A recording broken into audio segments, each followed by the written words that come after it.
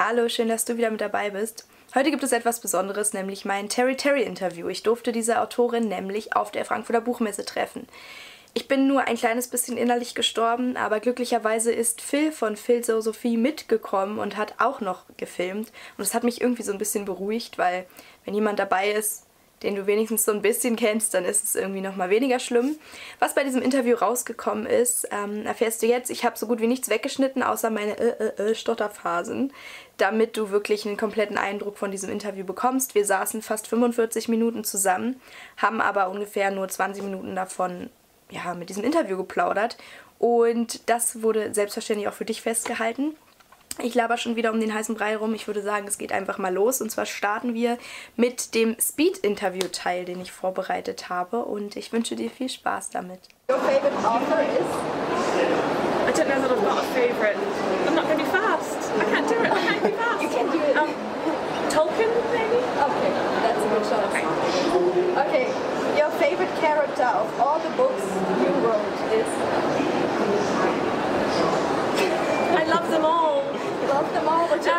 One. Shay and Kyla. That's two. That's, that's good. Okay, your favorite candy is? Candy. Yeah. Um, chocolate. Do you like Harry Potter? Yes. And what is your favorite Harry Potter character? Well, Harry Potter, of course. Okay. um, your favorite movie is? Probably the Lord of the Rings movies. Okay. Um, what would your Patronus be? A hat. And your favorite color? Blue. Um, you love being an author because I can work in my pajamas. that's that's a very good answer. Your favorite song? Mark Knopfler, um, Let It All Go. Okay. Um, what would you like to tell your fans? I'm very happy to Ich habe ihr dann Fragen zu ihr als Person gestellt und äh, diese hörst du jetzt. I saw that you lived in a lot of different countries. Yes. And which one did you like the most? I like different places for different reasons, but I think where I live now is the place that feels the most like home to me because I've lived in one place the longest and I've, I've been in the same village. We have moved house recently, but I've been in the same village for I think 14 years now, 13 years, something like that. And I've never lived in one place that long before. So. And I also read that you worked in different jobs. Yes. In a lot of different jobs. And which one did you like the most? And which one did, did you dislike the most? Um, well, being an author obviously is the best. You know, I mentioned the pajamas earlier, and making up stories for a living is you know the most amazing thing that you can possibly do. Yeah. I also worked in a library for a while, which I enjoyed, but it, um, it wasn't. It didn't really have a career path. There's a lot of problems with libraries in in the UK right now with closures and things, so it wasn't going anywhere, I suppose. Um, as far as what I liked the least. Um, I'm not sure if I'd put it quite that way, but I was a lawyer for a while in Canada, and I, it didn't suit my personality. I think um, I'm not someone that could ever go into negotiations and hide my hand. You know what I mean? I'm just it's just not the way my the way I am. I just probably come right out and say what the bottom line was, and you're not supposed to do it that way. you know, so it just didn't suit my personality. I think. Yeah. Selbstverständlich habe ich sie auch etwas zu ihrem äh, neuesten Buch gefragt, nämlich zu Infiziert. Und was sie dazu gesagt hat, hörst du jetzt. How did you get the idea of creating an infection that kills nearly everybody? I saw that you studied microbiology. Yes, Did you yes. get the idea while you were at university? Or? Um, My first degree was in microbiology, which is going back quite a long way, and I think I'd always wanted to write something about an epidemic. It was kind of in the back of my mind. But there have been um, there's things in the news in recent years, like Ebola outbreaks recently, and the Zika virus in Brazil. Um, and you know, I suppose with Ebola, you know, those images you saw on TV of people wearing these biohazard suits that were very sort of homemade and everything, and um, the reports of that kind of got me thinking about it again.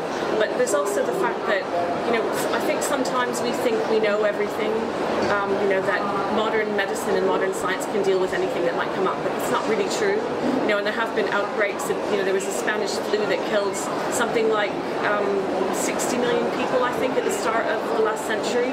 Um, and it was young, healthy people that were dying. You know, it wasn't just people that were maybe immune compromised or elderly or young. So it was um, that that it's about 100 years ago roughly now, but also the HIV AIDS epidemic. When I was a microbiology student, I can remember um, one of my professors saying that um, he was sure they would have a vaccine for it within a year or two, and they still don't have a useful vaccine.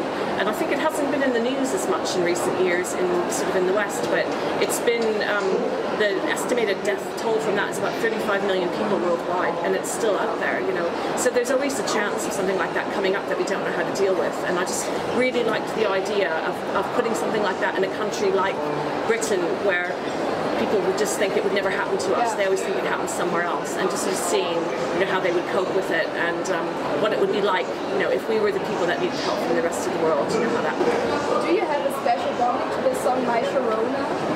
Why did you choose it? Uh, You know, interestingly, I had another story that was completely different um, ages ago, where for some reason I thought I would name the character Sharona, um, and I just sort of remembered that, and it just seemed to fit this character, and the fact that she would just be so embarrassed by her mother, you know, naming her this and all the rest of it.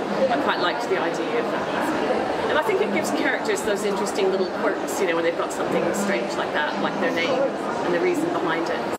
Und zu guter Letzt habe ich sie noch etwas so über ihr Leben als Autorin gefragt, weil das viele, viele, viele Menschen interessiert hat und selbstverständlich auch mich.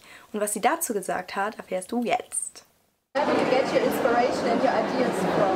Uh, lots of different places, really. Um, I think, I mean, the Slated trilogy um, really started from a dream that I had, strangely enough, because the, the start of that is um, there's a prologue when she's running on the beach and something's chasing her, and that was actually from a dream. Um, and I sort of wrote that down um, the same morning I'd had the dream and sort of came up with the idea from there. But I realised there's not a whole trilogy in a very short dream, but it just it grew from that point. Um, and then Mind Games really started from something that I read. I've been reading about um, sort of the difference between intelligence and rationality, which is sort of something that's behind in the story. And thought, you know, wouldn't it be interesting if in a future world they were testing and rationality was considered to be the most important thing and what, what that could lead to, you know, so it's sort of like a what if from that. Um, and like I said, the, the new trilogy really, you know, is from this interest that I've got in, in, in microbiology and sort of thinking about the um, history and the past and things have happened before and trying something like that here and seeing what would happen with it. So, but they come from lots of different places. Do you have any rituals while you write? Rituals? Um, I mean, I used to always write first thing in the morning when I wasn't really awake, but I seem to be changing that round and I've been writing in the afternoons a lot more, but I always listen to music when I'm writing, well, 90% of the time at least.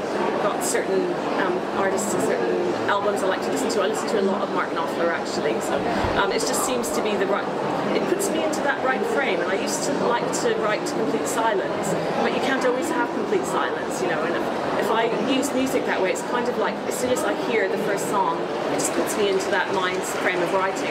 But I don't tend to have different music for different books like some people do. I just have certain kinds of music that I like to listen to when I'm writing. What do you do if you have a writer's block? So you don't know what to do and you say like, I don't know how the story should go. What Yeah, um, I don't if I really completely believe in writer's block the way some people talk about it. You know, some people say that they're blocked and they can't write anything for months. That's never happened to me. Maybe I'm just lucky. God. That's it. Um, but it, do sort of pause every now and then and think, well, I'm not quite sure how to get my characters from A to B or what happens in between here. Um, most of my writing I will do directly on a computer, but whenever I'm a bit stuck, I always get a note- notebook and pen and write things by hand. And I will tend to write, um, like if there, think, I'll think of every possible way something could happen and write it across the top, Yeah. and then have arrows down as to you know what the consequences would be. And I find if I do that, usually the answer becomes really, really obvious. Whereas if I just sit there thinking, I just go around in circles in my head. So I find using you know notebooks and things really helps. Um, and I'll do like flow charts and things like that. But I don't plot a huge amount like some people do in a lot of detail. I tend to, I've been using structure probably more than using plot in that way. So you know having a book where you have points of view that alternate and having parts and you know what each part roughly has a certain structure. It sort of provides a frame for it.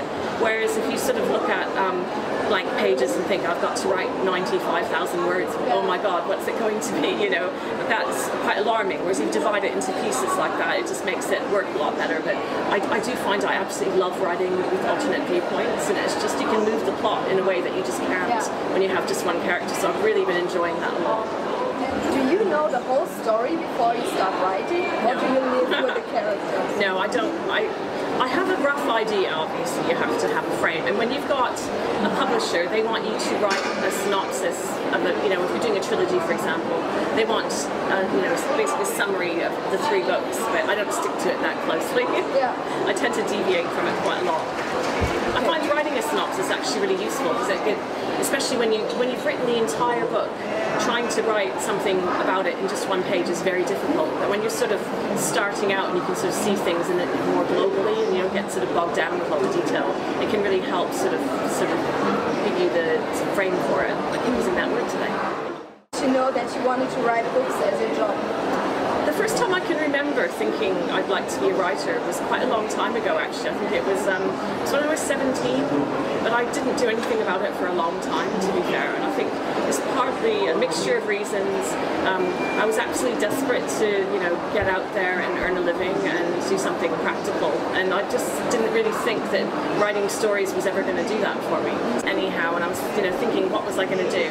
And to be fair, there aren't really that many times in your life, I think, when you're um, an adult and you're sort of re-evaluating what you're going to do for your life. And I just remembered being 17 and wanting to write. And I thought I'd never really taken it seriously, and I really wanted to. So at that point, I decided to, you know, take it seriously. And I had to have other jobs, you know, to pay some bills. But I was also um, writing really seriously from when I first moved here. So that was, I think, 2004. So since then, um, so I would get up really early in the morning and write before I went to work for, you know, I'd get up at five or six. Yeah, early. that's that's dedication. And write till five or six. Sorry, start at five or six and write for an hour or two before I went to work. Um, I at that point, I was writing everything out by longhand. Um, so I would do that in the morning, and then in the evening, I would edit things by when I was putting it on the computer. And I was um, doing that for a number of years before I wrote Slated. So Slated was actually the ninth complete novel that I wrote, and it was the first one I found a publisher for. So. Very, um, stubborn. That's good. yes, didn't give up. Because otherwise we wouldn't sit here. That's right. You said that you like to read, and I already Yeah. asked you about your favorite author. Yes. And what is your favorite book? The Lord of the Rings, I'd have to say now, but I don't know, it's funny because I think some people really think in lists, you know, like they know their top 10 this and their top 10 that. My brain doesn't seem to work that way, so um, quite often things that I'm reading, you know, I'll, I'll really be into at the time and then I'll have forgotten about and I'll be reading something else and it sort of changes all the time. I mean, I just started reading um, a series that I know, it's no, I know it's translated in German as well. It's um, Lockwood and Company, so the first book is The Screaming Staircase. It's by Yeah, Stroud, is. yeah. Um, it's quite a bit younger than the stuff that I um, write normally, but when I'm when I'm writing, I like to read stuff that's really different, you know. And it's just it's really it's really funny, quite spooky actually. So um, I just started the first book of that. I'm really enjoying it. So I might end up reading the whole series. We'll see. But um, I read an awful lot of different things really, and I quite often read books for events. You know, so if I'm doing a panel event with other authors, I'll usually read one of their books. Um, so that tends to be where a lot of my reading time goes. And do you like to read crime and thrillers? Um, as in grown-up ones. Yeah. Yeah, not really. I'm too much of a wimp. I get scared. I do actually. Um, I don't read very much adult fiction at all. Um, I just recently read a Margaret Atwood book, but it was because I was going to a talk that she was doing. It was um, the one that I read was Oryx and Crake, which is a um, series that she has. So that was for grown-ups, and I kept reading it and thinking, I love the idea, I love the story, but there's just so many nasty adult things in here. You know, it's quite funny, really. Um, how do you deal with bad reviews about your books? I try not to read them. That's the best way to deal with it. um, you know, especially when a book is first out, I will usually want to look at reviews a little bit to get a sense for what people are saying about it. But um, if someone links me to a review on Twitter, I will. I'll usually retweet it. But if I'm going to retweet it, I'll always look at it just to get a sense. Um, because I wouldn't want to retweet something that was not very nice. And it's quite surprising to me actually that people tag you in on things if they're not, you know, being nice to you. It just seems a bit odd, but they do. Um, so I will usually glance at them, you know, and if, if they seem like they're going to be very nice, I might read the whole thing. And um, if it sounds like it's not going to be very nice, then I usually just don't read it because there's not a lot you can, you know, there's, there's no point in um, trying to say anything to someone about what they've said about your book because they're completely entitled to not like it. And but it, you know, it hurts actually when people say things sometimes. But you know, it's just better to avoid it if you can. Um, think if you spend a lot of time reading reviews on Goodreads, you get depressed. because there's lovely reviews there, but you know, there's always going to be the opposite as well, and it's just better to avoid it, I think. It just mucks with your head too much. And actually, if you read really good reviews, that mucks with your head in a different way. You know, it's not really the best thing to read all the time. But Yeah. It's good to get a sense of what's being said, but apart from that, I usually leave it alone most of the time. Yeah, it's hard. It's hard not to look, actually. Yeah, I'm, I'm better at doing that now than I used to be. You know, when my first few books were out, it was actually really hard not to read everything. Um, if you're creating the cover of your books, do you have an, an idea about what you want to have on the cover? Or do you have- Covers. yeah. Publishers completely are in control of the covers. If you're lucky, they ask you if you like it before they pick it. So. I mean, I love great. these. They've Yeah. been fantastic. Actually, I love the German covers. They're beautiful. Um, in the UK, because you know that's that's where I live. And that's my original publisher. So the translation deals in Germany and so on are through my publisher in the UK. In the UK, they do ask me a lot about the covers, and we do have long conversations about them sometimes. Sometimes we change bits and pieces, you know, but um, it really is the publishers that choose the covers. I suppose with the um, different countries, you know, the markets will be bit different, and they're going to know, you know, what suits their market. And sometimes they'll use the same cover as the UK, um, and sometimes they don't. You know, it's just that sort of judgment call they have about what will sell books in their place. But thank God you have beautiful covers. Yes, I do really love these ones. I've got to say. Um, and now my last question. Um, do you have an idea for a book that you want to write but you didn't think the story over, so you didn't write it yet? Um, I have lots of sort of ideas, certainly. I know what I'm writing next, but I'm not allowed to say yet. I know, I know. And I'm really, really excited about it, but I've only kind of just started it, so it's just new. Um, I mean, I've just finished the third book to this trilogy, um, so I'm sort of in the process of editing it, so it'll, it'll be sent off to Germany fairly soon, I would think. I'm not sure exactly when, but fairly soon.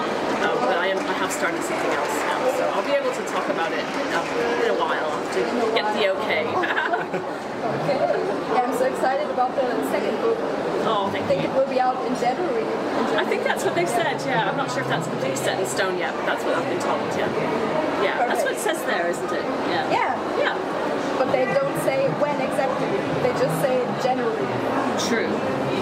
But I think it's okay. It's books I can Yeah. read. And the third book is going to be out in next year as well. So, yeah, so you don't have to wait as long for the third one. That's I good. think it's the second one took me quite a long time to write, so it got delayed a little bit.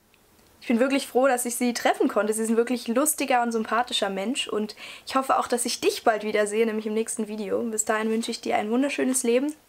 Mach's gut. Ciao.